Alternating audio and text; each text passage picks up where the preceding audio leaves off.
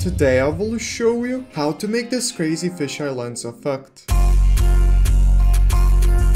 Yo, it's Povikas here, and let's begin. Alright guys, so here I have a clip of one and only from his Stardust music video, and here we can instantly start making the effect. So the first thing we can do is press Ctrl Y to make a new adjustment layer, and here we can add our first effect, which is Transform. Now, at the start this might be a little bit weird for you, but I will actually make the scale a bit down. I'll make it 66. I will show you why a bit later on why I did this, but it will basically even out. This effect is to even out the whole scale scaling because of the fisheye. And now we can add an effect called S-Warp fisheye. Now this effect is kind of like a scam, I'm not gonna lie. It's like it doesn't do like the fisheye lens, it just pops out the fisheye, like you know, like the like the warp. And I don't really change anything here, but if you don't have sapphire, another effect you could have added here was warp. I'm just gonna turn off the S-warp fisheye, and here you can go to warp style, make it the fisheye, and you'll pretty much have like a very similar effect, you know, you can just make the bend a bit higher and you'll have the same effect, you know. So I like the S-warp fisheye, but you know, you can use the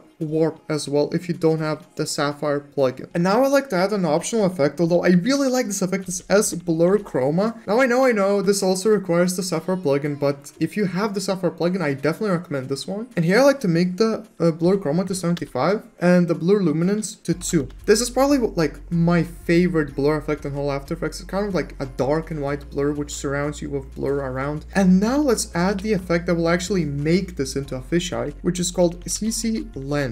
Now you can already see like, oh wow, that's a fisheye. Yeah, well we're going to change the settings here. You can't really see anything. So I'm going to make the size to 68 and the convergence is kind of like the most important part here. I like to make it to 19. And boom, I mean you already have like a fisheye effect. This is like a really simple but already a cool fisheye effect. Like look, look at before and after. Now, if we were to say not have the transform at the top, we would have had this. So, you know, it's like kind of like scaled up, so we had a transform to scale it down. But it's important to have transform on top of every effect, okay? Another effect that I like to add here, which is definitely optional, it's uni dot heatwave. I like this effect because it gives like these surrounding blurs, like these this heat, as you can maybe see like around, you know, like these little blurs. Now, another optional effect I like to add here is uni dot RGB separation. I mean, you really really need to have universe for these optional effects, I'm not gonna lie. And I like to make the radius like very tiny, to 2. But you can already start to see like the edges. Look at before and after the edges already start to pop off like in the actual like uh, fisheye lenses. And another effect I like to add here is fast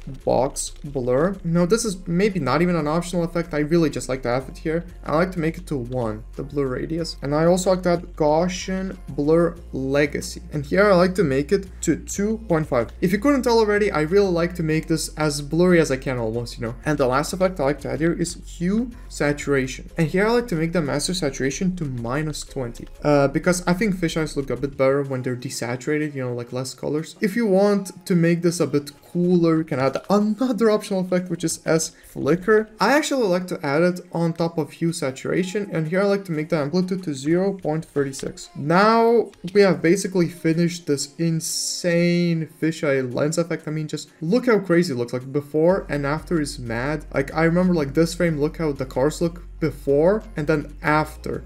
This is why, like, I really love this effect. Like, look, this effect works amazing for the cars. Like, look, before and after. Man, I just, I, I really love this effect. But yeah, guys, uh, that's pretty much it for the video. If you have any questions or any suggestions for other tutorials, then please let me know. But anyways, it was fun. Have a fun and productive day. See ya.